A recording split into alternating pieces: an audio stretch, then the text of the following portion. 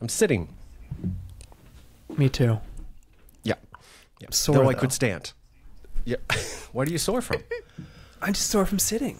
I think I'm I'm getting old. I'm getting. I think this Ah. is what's happened. I'm.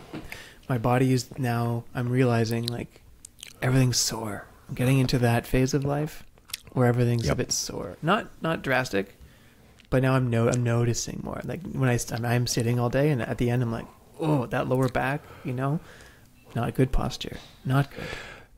The uh, my partner's reading a magazine, and she's like, "Sitting is the new smoking." I'm like, "Yeah, I heard that quite a while ago. I don't know if you remember, because everyone was like anti-sitting. Uh, we, as knowledge workers, and especially those that telecommute, remote knowledge workers, we are sitting and sedentary the majority of the day.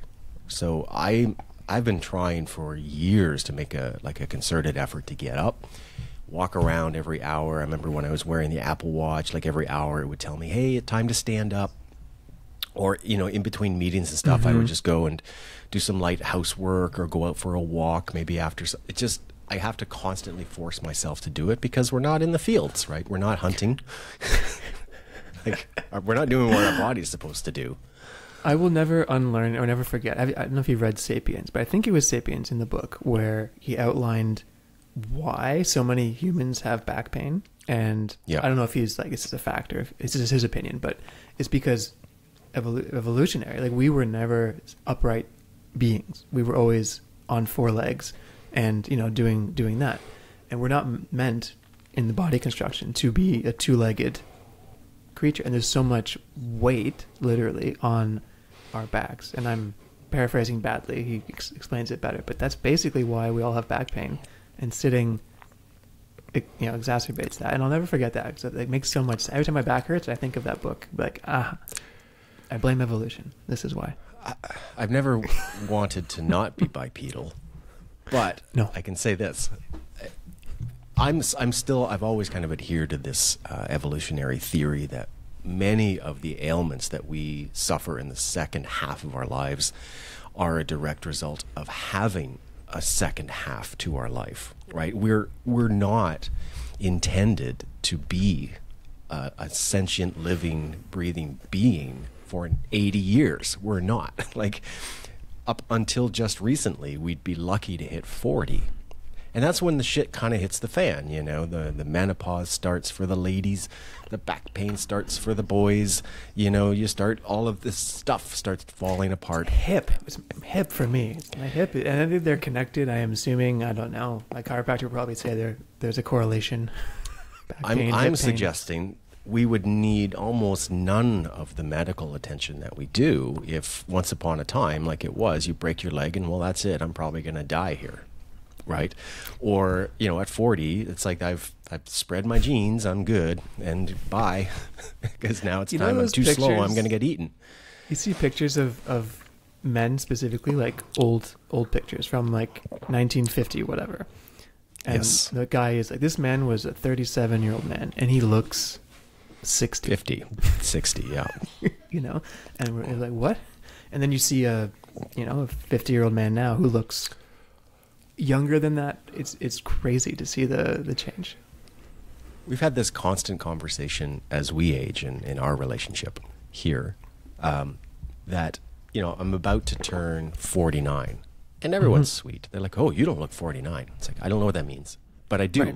What, I, what I think it means is that when I look at pictures of old people from the olden days, we would think of a 49 year old person as like this ancient, gray, you know, out of shape, um, you know, wool suit guy with big, thick glasses who drives like a really large car and is getting ready for retirement so that he can enjoy the last two years of his life. Yep. But we've I've looked into this. Do, it's is the is it a perception as we get older? Do our kind of old people around us look less old? Right, like when we're young. Mm. So when Yes. you're when you're ten, when you're ten, a 20 year old looks like a million years old, right? And when you're 25, a 50 year old looks like they're a hundred. But as we creep up in age, it's like, oh, you look so young, you look so good. And I'm like, is this that kind of delusional perception that we have of ourselves and each other? Well, the people are lying to you. I think first of all, that's just the thing Thank that people you. say. People that people Thank you. say, right? Not that you don't look 49. I don't know what that means either. But I think it's the thing that people say when someone says, "Oh, it's my birthday." I think it's automatic response. "Oh, you don't look insert." Like every people just Right. say that, right? But yes, is the answer to your question. And I don't know why I remember this, but very specifically, I remember being in grade five, maybe, and sitting in my elementary school during lunch somewhere, I don't know. And these kids came in the front door of the school who were in grade 7 and Mhm. they had graduated from this school the year prior and came back to see their favorite teacher. You know, Yeah. I remember this vividly, like like it was yesterday. They came in, the teacher, oh my god, great to see you guys. How's it going? And these guys, to me, looked old. They looked so, like, oh my gosh, they're only two years older at the time. But when you're 10 Mhm. and they're 12, it's like it, cat years, you know, nine years difference. They looked really old. And then I remember being in grade seven being like, oh, they weren't old. Because now I'm, I'm where they were.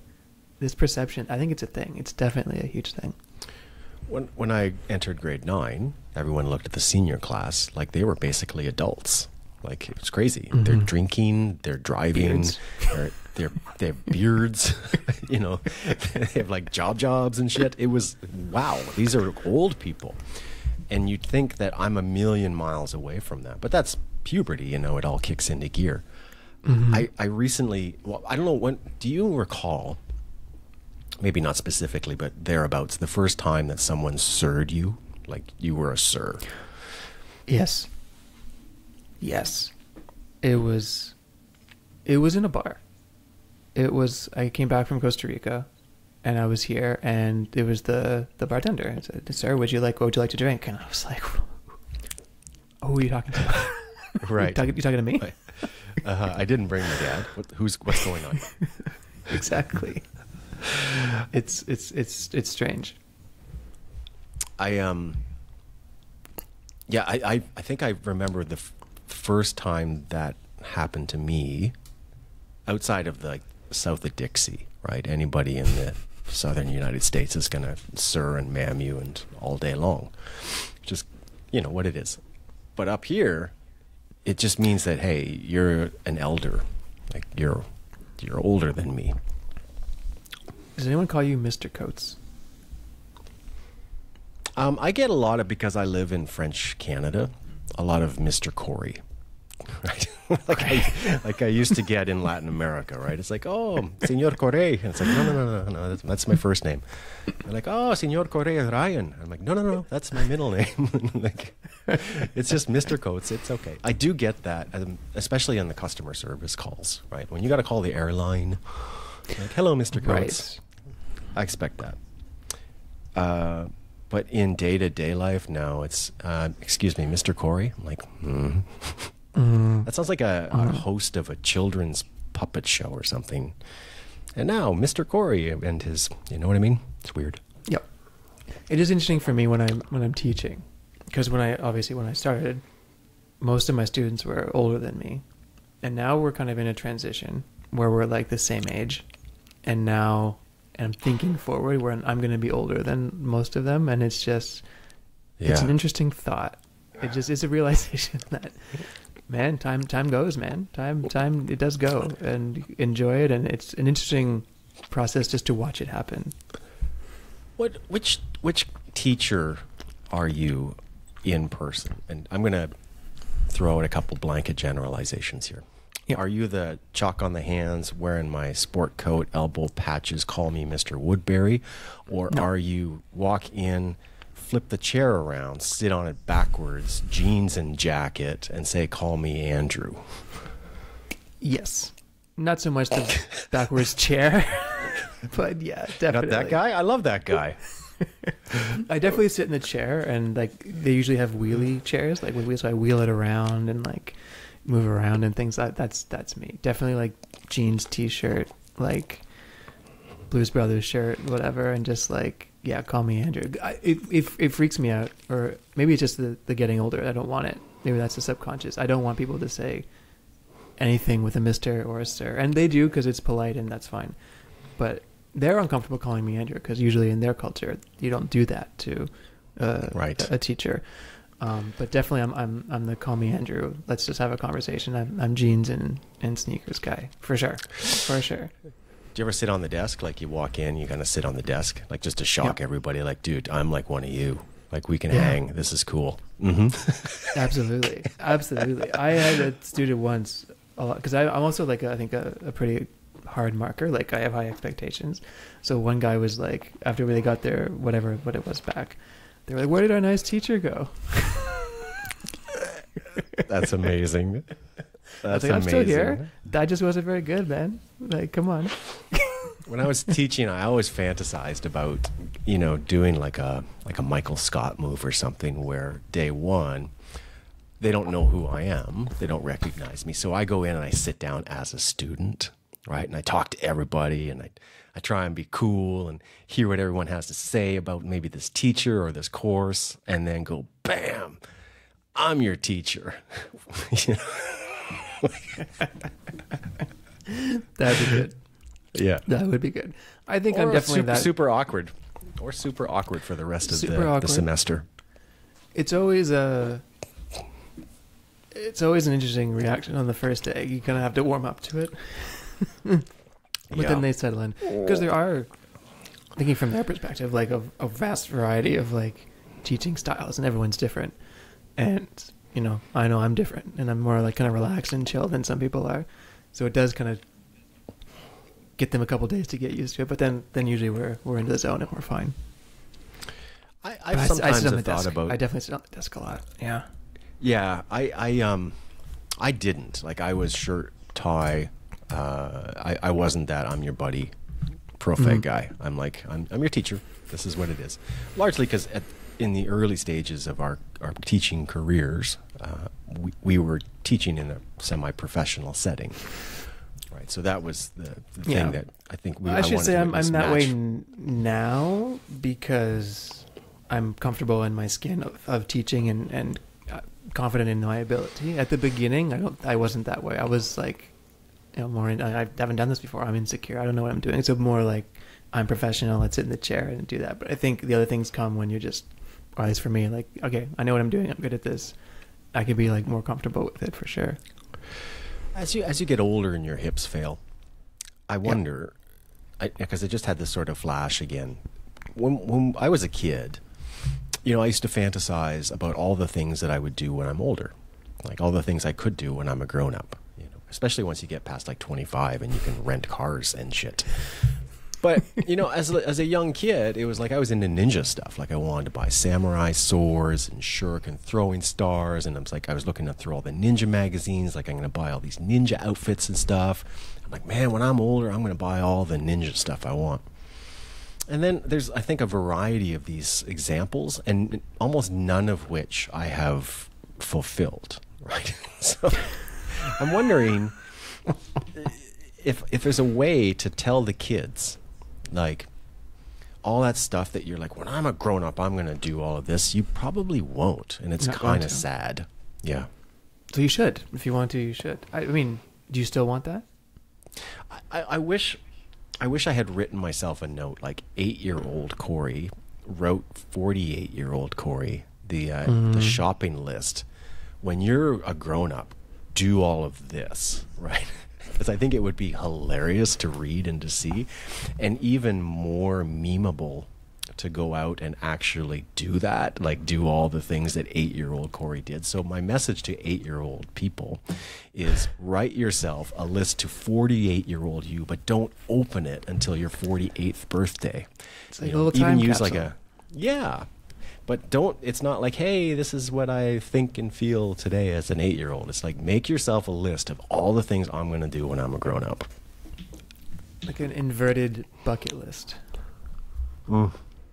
But if it's Mhm. eight year old, it would be like a pale, pale list. pale list yep Yeah. it's a pale list it's a pail and shovel I, I think it, i think it would be hilarious to see what eight year old woody would want eight year old, forty eight year old Woody to to shop for and to do I with it. so. That'd Yeah. be a funny episode of a show or like a little movie or something where there's no decision. You're obligated to open this up and then you go do it. And 48 year old you goes into Toys R Us and and whatever it is, you know what I mean? It would be me. The picture is me in a, a Knight Rider car with a samurai sword in the back seat and probably R2D2 in the passenger side. Mm-hmm. Right. And I have just got all the Froot Loops and Frosted Flakes I can possibly eat. Yubby's telling me that I can't have any more Froot Loops. It would be it'd be pretty funny. It'd be quite a day. Oh, I like that. That would be good. I don't know what mine would be. There's something along those lines as well. Definitely, fruit, I was a Froot Loop guy. What was I watching when I was eight? Something like Power Rangers or something like that. You know what I mean? Ninja Turtles maybe. And uh, yeah, I like this. I like this. Okay. I would go to Disney World, like I just go because I can. Mm-hmm. you know, I should I shouldn't say this. You know, I know a lot of people who do kind of live out those fantasies still. Um, I've got some colleagues and friends who do things like that. They go to Disney World every year because when they were a kid, that you know it was hard to or they couldn't. Um, you go into Yeah. their their man cave or their she shed, and you see samurai swords on the walls or that you know sewing machine that, that you always wanted to get that you weren't allowed to use when you were a kid and stuff so i guess to some degree we do it it's just what we desire changes Why not? Yeah, I mean, why not? There's no script to this, right? Like, if there's no like, you're an adult, so you have to one, two, three. Like, if that's what you like, that's that you should. I mean, I'm in that boat. You should do that. Like, because hey, your hips get old, your back gets old, you get you get sore. You might as well do what you want to do. Like, if you're interested in something, go do it. my niece who's six or if you ask her six plus will said something uh, just brilliant uh, as as children often do uh, I couldn't remember what specifically it was. It was like I, I couldn't do something or I shouldn't do something. And she said, Why? You don't live with your mom. And the, that perspective of the six year old is like, Well, you don't live with your mom, so you can kind of do whatever you want. Has been carrying over for weeks into a lot of things. It's like, oh, I, sh- I shouldn't have that that ice cream. You know, it's like ten o'clock. But then I, I go, why? I don't live with my mom. I can have that ice cream. Oh, I shouldn't watch one more episode of that. It's time for bed. And and then in the back of my mind, she's going, you don't have a bedtime. But you can watch that episode if you're not tired. Does that make you want to go back and live with your mom? a little bit? Yeah. A little bit. Mm-hmm. A little bit. It'd be easier, structured. Right. Time for bed, Corey. It's so funny, right? When that switch happens, when like there is no external regulation, where then we just say to ourselves, "No, I, I shouldn't do that. Oh, I can't do that. I can't do that." Well, why not? Well, why not? Maybe there's Have an the ice cream. that we could develop. It's called Mom or something, you know, Mhm. and it uses generative, like an LLM, an AI kind of thing, where it's going to tell you at certain times a day that hey, it's time for bed, or you know, it's time for dinner, but don't eat too much, or you're going to spoil your dinner. We've been having that a lot lately around here. Hey, don't eat that; you're going to spoil your dinner. Um, and you can ask your mom for things, and it can say yes or no, and it can be snarky. You can program it, could to be, sort of criteria, right, for the ice cream. Like Right. it's ten o'clock. You did you finish your vegetables? Yes or no? right. Mhm. Right. Yeah. Did how, you do the how many pieces of fruit did you have today? Right. Mm-hmm. Yeah. And if all the answers are yes, go ahead. Green light. Ice cream time. All right, but you can have ice cream, but not too much because it's late. you know, so we we basically we reparent with this mom thing. And remember, we have based on soccer what it- practice in the morning. So maybe the idea is that we set these objectives, right? This is where we want to be in a year of our life, right? And it, this this mom is going to start nagging us and helping us develop habits and become more aware of our behavior by, you know, mothering us pretty constantly, right? And it'll text you, right? It'll send you text messages and stuff. Hey, where are you? When are you coming home? You know, it'll like all these things. It's like, you're not out with so and so, are you? What time will you be home? Where are you Exactly. going? You're not doing that podcast thing, are you? It's the middle of the day. I like it, Mom. Can be a little acronym too. You know, my other, Other- or something. other mother. You know, other mother. My, o- Other my other mother. Mother. I like this middle of the day podcast thing we're doing now. This works It's well for me. I like it. So far, this is nice. we got two ideas. We got an eight-year-old uh, reverse pail time capsule and uh, my other mother app. My This other is- mother. this is a- There's a foundation there. I mean, we all want. I think you know, starting new things and habits is just difficult, right, for everybody. So anyone can do it for a week or two, but my other mother helps you do it for the year. You know, Right. hold you accountable. and it's funny. I don't. Have you ever seen? I, I used to use an app called Carrot. It's a weather app. Okay. and it's it, you can dial in the level of snark and uh, lewdness, right? so it can give you the weather as per normal, but it can also sort of like hurt you a little bit, telling you the weather and sort of what's wrong with you, likely as a human, and how the weather might be a part of that. It, it's really funny. So it's kind of a, it's a very engaging weather app. So There could be it different. makes me you said, what type of teacher am I? So there- there's different types of mothers or parents, right? Different- There's are you the snarky Mhm. mom? Are you the the helicopter Heli- mom? Are you the Right. the hippie mom? Are you the, you know Are what you I mean? the coddler? Are you the strict mom? Are you the uh, anxious and uh, you ruined my life by being born mom? like, there's a lot of moms out there. this is fun because you This could say fun. you could choose what kind of mom you want. exactly. We, uh, I once had a I once had a conversation with somebody about um, there's a there's this thing called reparenting. I don't know. I don't understand it, so I'm not going to speak Okay. on it. I don't I don't get it, but I like the word.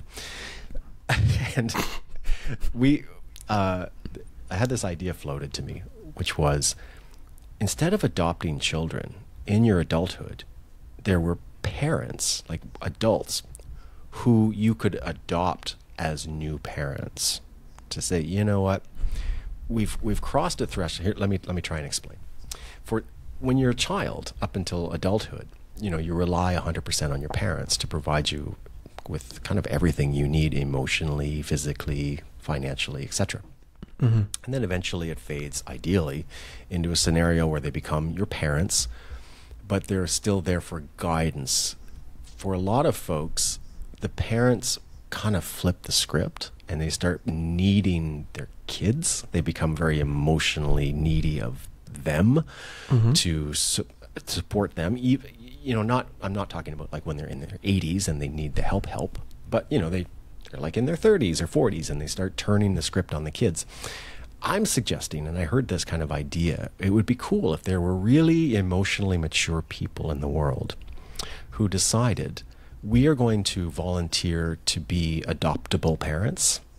That you can text, you can call, you can come over for dinner, we can have lunch, so that you can have an adult guardian or figurehead in your life that's emotionally mature and is not going to flip the script on you and look for you to be their parent in, in effect.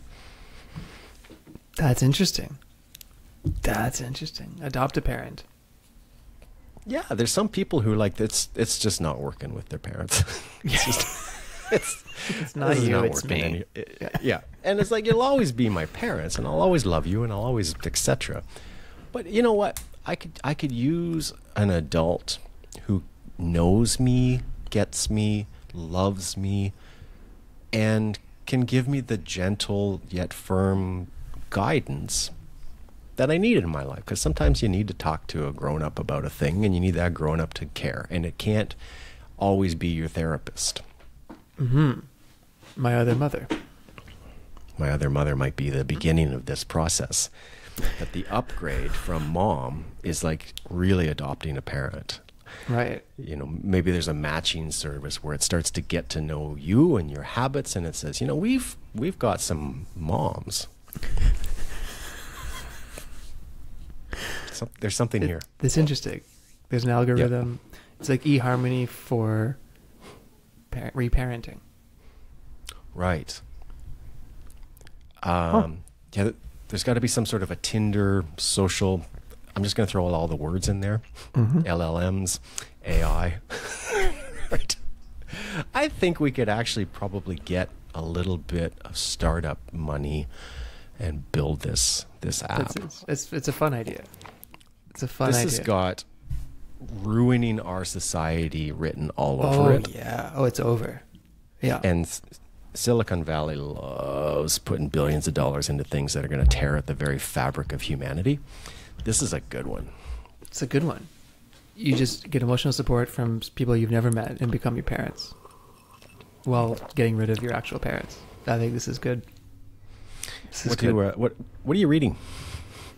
I just finished The Psychology of Money Oh, and now I'm going to start reading uh, Adam Grant's book. I just picked it up, which I think is Think Again. I think it's called. Okay. His, his, Okay. He has a new one, but not that one. The the previous one. nice, nice.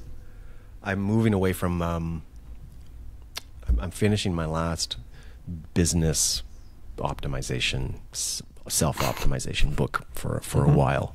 You know, I've saturated that. Uh, I've got two classics that I, you might have read. Mm. Oh, you did the walk away. You did it. Yeah, my bookshelf is close. I got the the Myth of Sisyphus. Nope, not that one. Okay. You haven't read that one? That's hard to say. The myth of what? The Myth of Sith, Myth of Sisyphus. and Kafka, The Castle. Okay. I'm I'm going to go Yeah. into this sort of uh, existentialist genre. This kind of nihilistic, you know, philosophers Mm-hmm. talking about the futility of life kind of, kind of thing. So I'm going from this sort of like, hey, let's be optimistic about everything and we can make everything kind of work by developing structures and habits and all of this stuff. And then the whole opposite end of the spectrum of what's the point? What's the point? Just Sounds perfect for that mom. ball up the hill. What's the point? Yeah. Right. So we could we could have integrated into this mom app the skeptic, the cynic. Absolutely. Right. The, I think I'm- that's the I'm audience. Yeah. Yeah. I mean, that's just that's who wants this. That would be what it's for. It's not not you were here for, you know, positivity and building people up and participation ribbons. This isn't it. It's not the kind of mom we have. This is, this is the cynic. This is this the skeptic. This is you want snark, you're in the right place. Right. And somehow, no matter what you do, it's not good enough. Mm-hmm. And you always feel a little bit guilty. Yeah. Well, if you're not going to do it right, why do it at all? Like, why'd you even make the bed? Why would you even bother calling me today? You never call me before. What's different now? Mm-hmm. Why don't you just never call me again? I'll just wither away and die. I mean, if you're ten minutes early, you're basically late. So why why are you even here? Right. What's the like what's it. the restaurant? What's the restaurant where the servers are just mean to you on purpose? That's the gimmick. Oh yeah, I I What's don't that? remember where or what, but I have seen that before. Is that still a thing? That doesn't seem like a very Gen Z thing. It doesn't seem like that doesn't feel like the, a thing that would have survived the pandemic.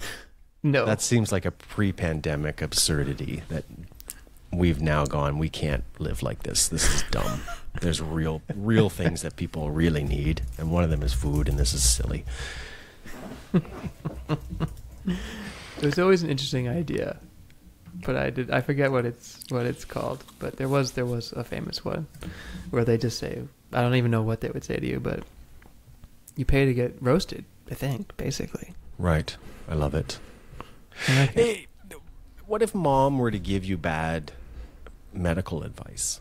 Right. So there's Mhm. like a lot of the um, old wives' tales, the sort of tribal knowledge. Um, just part of mom, I think, is Ah. really, really giving you bad advice. Mom is just mom is confirmation bias. Yeah. Right. Yeah. Yeah. Like, oh yeah, that'll yeah, absolutely. That works. That's a great idea. Yeah, you should you should do that. Absolutely. Oh, you have you have this kind of illness? Just yeah, eat a pineapple. Yeah, absolutely. That's that's that'll take care of that. For sure. Cut a potato in half, rub half on it, and then bury the other half in the ground. You know? Put it in the oven for 30 minutes and then put it right on your face. and there's got to be some undertone of disdain for whomever you've chosen as your partner, Mm-hmm. right? So she, mom doesn't like your wife, right? That's No. it. Because she's also a mother-in-law, in in, in many respects, right? So there's going to be a loves lot of like, Raymond vibe to it. Yeah. yeah, yeah, yeah. Yeah. Ooh. Oh yeah, yeah. We're go- we're going out to the lake this weekend. We're going to spend some time with friends. And then mom's like, "Oh, good for her. I haven't been to the lake in years." I'm glad that she's enjoying her time off with you. I I would love to hear more about it, but she hasn't responded to any of my messages lately. Have fun.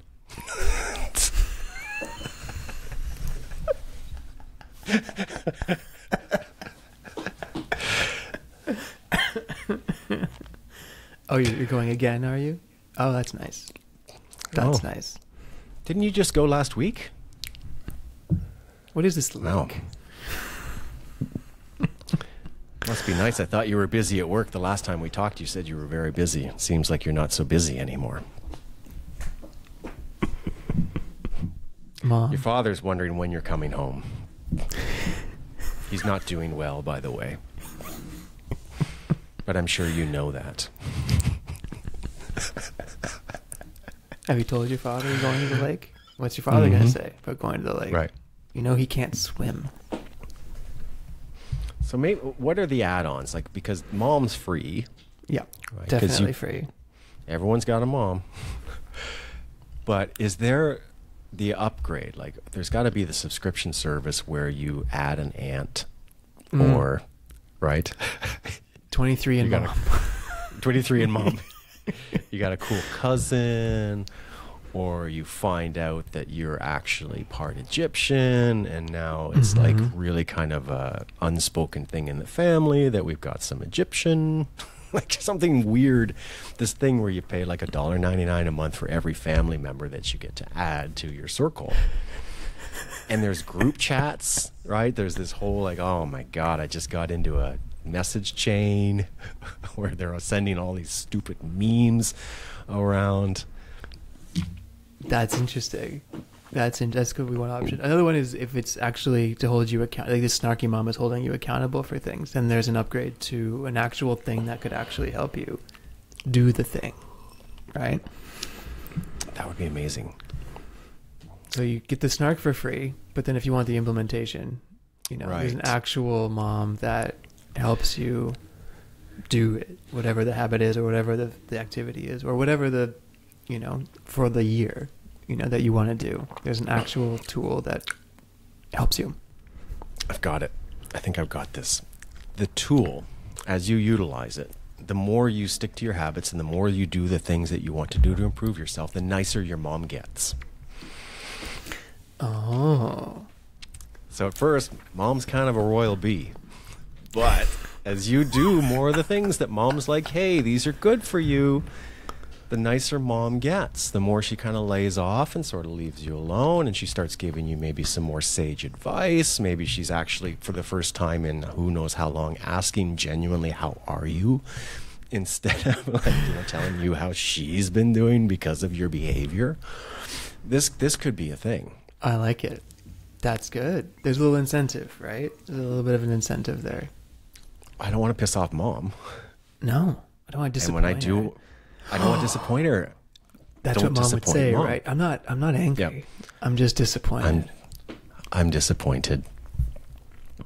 Yeah, I, ex- I expected more from you.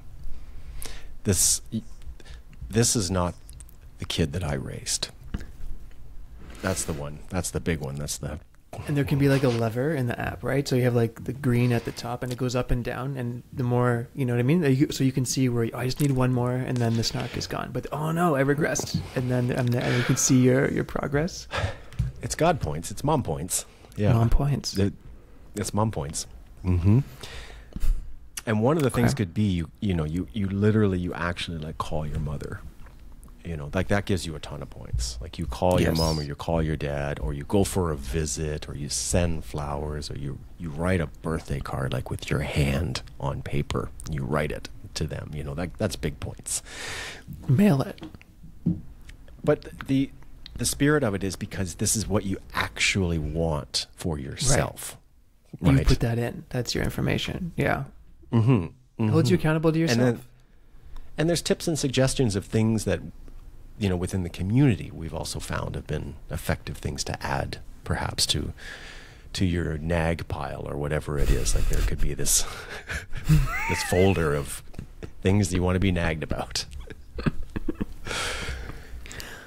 I think there's something there. Okay. My other right. mother. I- Yeah. Maya. hmm Otherwise, you okay? Yeah. Doing good. Yeah. Doing good. You okay? All right. I'm okay. I'm okay. Spring is uh, springing. Finally. Finally. No snow. Not since last week. No. No. Should we um should we get back to work? Probably. Yeah. It sucks. Okay. Well, uh I'll let you know how the rolling the rock up the hill goes. Please do. And then Mhm. I'll I'll nag you about it. Did you, have you read your chapter yet today? Mm-hmm. Mm-hmm. Okay. Um, talk to you soon. Bye-bye. Bye.